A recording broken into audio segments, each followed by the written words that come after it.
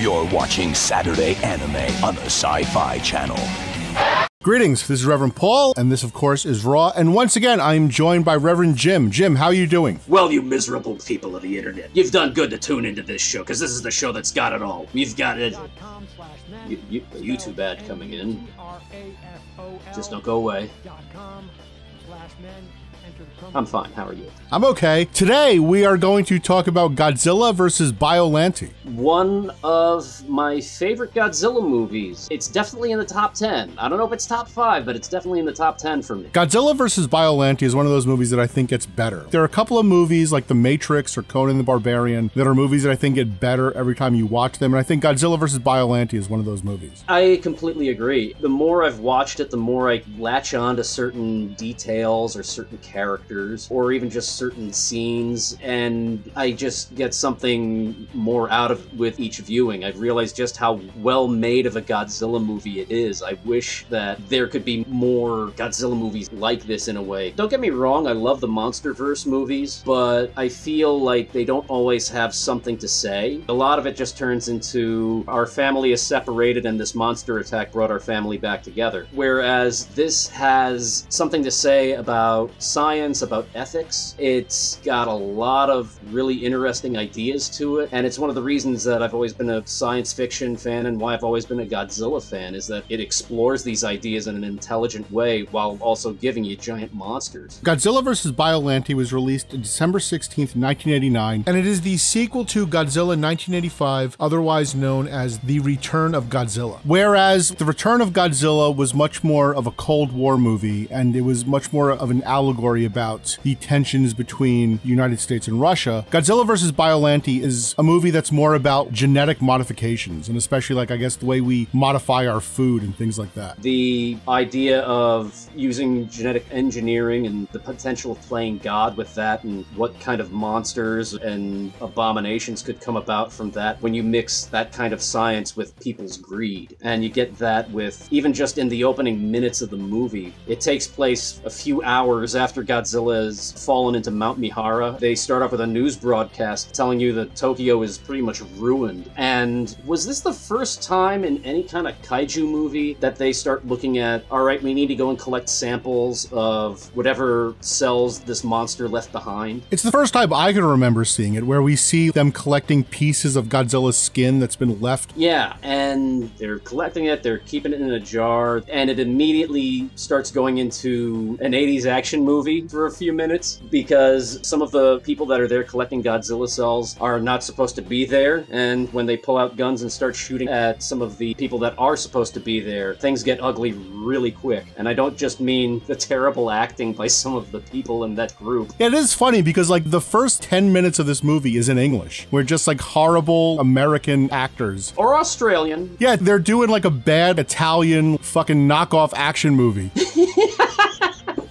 Part of the charm of this movie is that it does feel different from other Godzilla movies, and because this was one of those few movies where director Kazuki Omori had a lot of control, whereas later on with Godzilla vs. King Ghidorah and Godzilla vs. Mechagodzilla, Toho took more control and wanted to have more of a formulaic Godzilla movie. That's always how it goes, too. They give Kazuki Omori pretty much the keys to the car. He writes and directs it, and he's pretty much given carte blanche. And he makes this very well spoken film that harkens back to the original themes of Godzilla, where it's does science go too far, or is it the people that use science for their own ends that makes it dangerous? And like any other franchise, the people that wear the suits and give the money start thinking that they're filmmakers and start saying, no, you should do this instead. And the movies that they make after afterwards are still excellent Godzilla movies, but this one really has a, a very singular voice to it. It feels less homogenized, I think, is the best way to put it. Omori said he wanted to make a James Bond movie, which is why we have this weird corporate espionage subplot in the beginning where we have the Japanese government collecting Godzilla cells, and then we have an American corporation collecting Godzilla cells. They're there illegally, they're pursued by the JSDF, and then they are attacked by this other dude who's like, he looks like someone someone from like a Lucio Fulci zombie movie, like this dude with a really bad beard, and he steals the G cells. I was gonna say he looks like someone that's doing a bad John Woo cosplay. Yes, there is a lot of like John Woo isms in here, especially when they're doing the drop off with that nuclear suitcase. Yeah, no, that's a, that's a good point. There's a lot in this that really makes it stand out from other Godzilla movies, and it's got a lot more of a, an American bent to it, but it's still a Japanese story being told. And one of my favorite things that I've noticed about it in the last watch through I did, Kazuki Omori talked about how with the Return of Godzilla, he didn't like that movie, and he said he doesn't think this is what a Godzilla movie should be. Yet he still pays respect to it. He's still respectful of what was made before him, and he's not treating it like if it were being written today, you'd see someone saying like, oh, Godzilla fell into the volcano, but later on that day he escaped, and they'll make a gag out of it, turning the movie into the butt of a joke. Whereas here, Omori is actually being respectful to what came before and building upon it to go and make things a little stronger. You don't see considerate writing like that nowadays. Godzilla vs. Biollante tonally actually feels like very similar to Shin Godzilla. It has that same earnestness to it. In preparation for this video, I rewatched Godzilla 1985. And then there's this one part where Professor Hayashida says kaiju appear when the world is unbalanced. And you see that with Godzilla 1985. That is very much about the arms race between the United States and Russia. I do feel like Godzilla versus Biollante is a little bit more representative of the modern dilemmas we have now. Godzilla 1984 is much more of a Cold War movie. This is a post Cold War movie. It even goes a little beyond just Cold War. It includes other countries that may not have been included in the Return of Godzilla by including the country of Somalia out in the Middle East, or showing we have not even just other countries, but corporations that are willing to kill to get these Godzilla cells or to get the anti nuclear energy bacteria that's being developed through these Godzilla cells. That beginning, despite the bad American acting, it's actually pretty compelling. You have the guys getting attacked by the JSDF and the people that are there illegally to go and steal Godzilla cells, and then they're attacked by a Middle East secret agent, and he takes the cells to the Middle East, brings them to the head of an oil company who wants to go and use these for his own gain, and that's what tends to kick off the plot as far as what creates the creature Biollante. You have Dr. Shiragami, who is working out in the Middle East for this oil company. They get him Godzilla cells so that he can go and do some genetic studies on it. And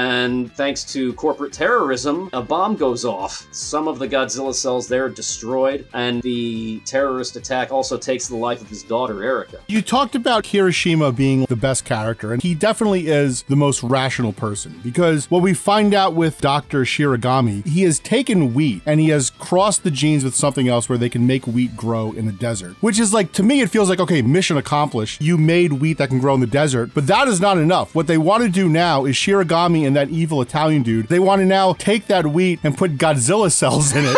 Which is like, I would not eat bread that was made from Godzilla cells. I don't know why they think this is a good idea. I wouldn't mix Godzilla cells with anything. The fact that they're even saving them is just like you're asking for trouble. And lo and behold, it does come to bite the world on the ass. And Dr. Kirishima is that voice for it. If anything, I'm surprised it's not a more violent conflict going on between these corporations all scrambling to try and get the cells of the giant atomic dinosaur. It's almost as if this exists in some kind of libertarian world where corporations are literally at war with each other. I believe it's the American corporation that bombs Saradia and kills Erica. What was it? The conglomeration of four American companies that form the corporate terrorism group Biomajor. After his daughter is killed, Dr. Shiragami, he basically splices her genes with a rose so she will live on. Yeah, Erica, when she was killed in the terrorist attack, died next to this, not a bouquet, but this arrangement of roses. And Dr. Shiragami believes that her spirit passed into these roses. And he's kept them alive from 1984 all the way to uh, 1989. And still earnestly believes that her spirit is in those roses. He introduces us to one of the most enduring characters of the entire Heisei series, Miki Saegusa, played by Megumi Odaka. Yes, and Miki is part of this psychic institute where they are trying to basically read the mental energy of plants. And that psychic institute is headed by Asuka, who is in a relationship with Kirishima. And what I thought was funny about Asuka is that when she was talking to Dr. Shiragami, she was talking about her father's experiments, which is basically just to save the sperm of Nobel Prize winners. It's like, that's just eugenics. Yeah, no, that's. I can see how Kirishima would also have problems with that. What was it? I actually found the relationship between Kirishima and Asuka really mature, well put together relationship. It seems like they're both jiving really well with each other. You see them constantly having these very intelligent discussions. They may not always agree, but there's always something that leaves one person or the other very thoughtful and with something to consider that may change how they think later on in the movie. It's something I've ne- I don't recall I've ever seen in any other Godzilla movies was an adult relationship that's played this seriously. Yeah, this movie and Godzilla 1985 are very adult movies. There's no little kid that just gets strung along to have like the kid point of view. These are movies told from an adult perspective and they feel very mature in that way. Yeah, Omori in his writing took the ball and ran with it. He not only gives you a Godzilla movie with a very wide global view, but it also maintains that maturity. It maintains an intelligence that I feel a lot of monster movies usually lack, and the best Godzilla movies always have in spades. Now, what ends up happening is the government basically wants to make an anti Godzilla bacteria, but they need G cells to do it. And they want Shiragami to be part of the team, but he refuses. But then he eventually decides to join them when he realizes that the Erica plant is dying and he wants to fuse Erica with G cells. Not only is the roses that he's been keeping, uh, that he believes carries Erica's spirit, not only are those roses dying, they're dying because earthquake went off that caused an eruption at Mount Mihara, the same volcano Godzilla fell into. And as things go on, you find out that eruption was caused by someone waking up. And that starts to be this little undercurrent that just builds so well throughout that first third of the movie. My favorite moment in the whole thing, Asuka goes to the ESP Institute to talk to Miki Saegusa, and Miki Saegusa has been working with these children that have latent ESP powers. And the best part is that it's never said directly. Asuka and Miki are just having this talk. Miki just says, like, it started the other day, and now other children are starting to see it. They open the door, there are the kids, like, okay, kids, have you finished your drawings for today? Yeah! Alright, let's see them. And it's all drawings of Godzilla and the world in flames. And it chills me every time. I love that scene so much. I agree. The build in this movie is a lot better than the build in Godzilla in 1985, where he's just standing there and they pan up. This, we have the whole Godzilla threat levels where they explain like level one, level two, level three, level four. And I love that part with the psychic kids because that's almost like the Call of Cthulhu, where everybody is dreaming about Cthulhu. Like now everybody is dreaming about Godzilla. Would you say that it's got a better sense of dread to it than Godzilla 1985? Because I feel like the build in 1985, it's got certain qualities to it that I think work really well. I mean, yeah, in the end, he just shows up at the power plant and it kind of just happens. But here, the build is also interspersed with other plot elements. You have the story with Dr. Shiragami using the Rose cells with Godzilla cells. You have the intrigue of, all right, we're going to use these Godzilla cells to create anti nuclear energy bacteria. But it turns out some of these other companies and corporations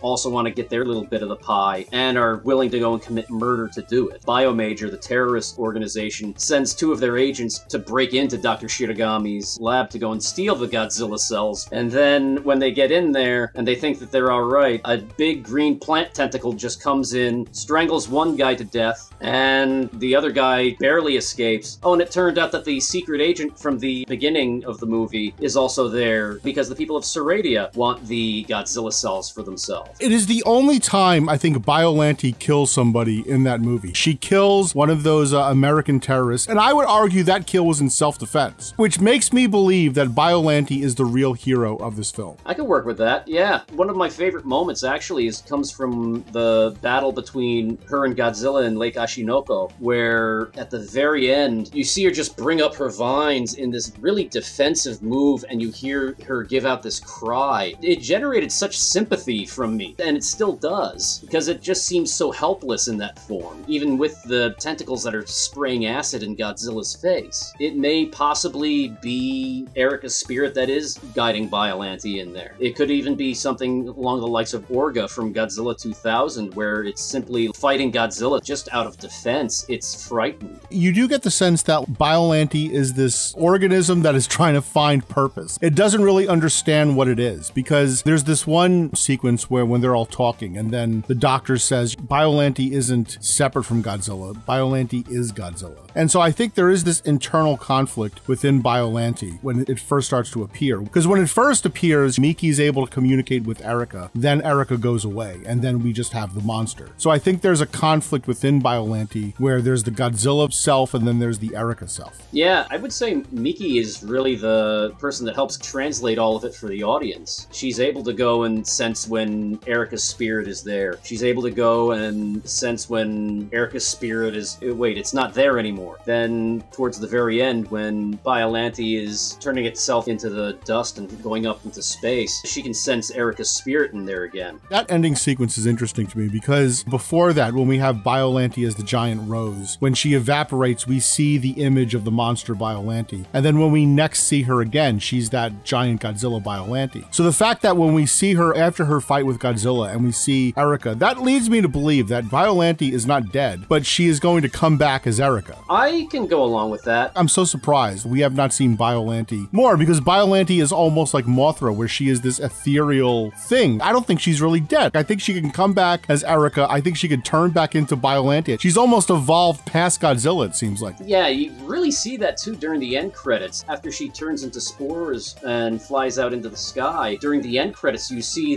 the uh, the rose petals there out in space. And when she was just the rose there in Lake Ashinoko, she never really bloomed. You never really see those rose petals open up. When she's finally out into outer space, she's formed those rose petals and she's blooming. She's become her own person, her own thing, her own being, and that could be because of Erica's spirit guiding her.